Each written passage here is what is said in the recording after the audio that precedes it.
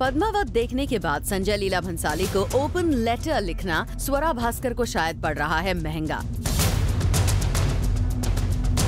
स्वरा के open letter के साथ शुरू हुई कंट्रोवर्सी अभी पूरी तरह खत्म भी नहीं हुई थी कि स्वरा के सामने आ गई एक नई मुसीबत। सोर्सेस की माने तो स्वरा की पीआर कंपनी ने छोड़ दिया है स्वरा का साथ। अपेरेंटली स्वरा का फ़िल्म मेकर संजय लीला भंसाली को लेटर लिखना didn't go down well with her publicist क्योंकि यही पब्लिसिस्ट हैंडल करते हैं संजय लीला भंसाली के प्रोफेशनल मैटर्स को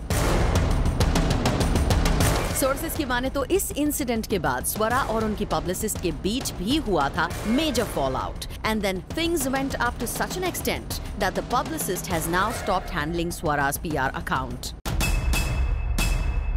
Who tuned in late, Swara ने अपने लेटर में संजय लीला भंसाली की पद्मावत को प्रेज करने के साथ ही ये भी लिखा था कि भंसाली की फ़िल्म में ग्लोरीफाई किया गया है सती और जौहर को और साथ ही लिखा था that she felt reduce to a vagina after watching the film इसके बाद जहाँ संजय लीला भंसाली ने तो स्वरा के लेटर पर रिएक्ट नहीं किया लेकिन कुछ सेलिब्रिटीज ने स्वरा को सपोर्ट किया। तो कुछ सिलेब्स नज़र आए completely disagree with her point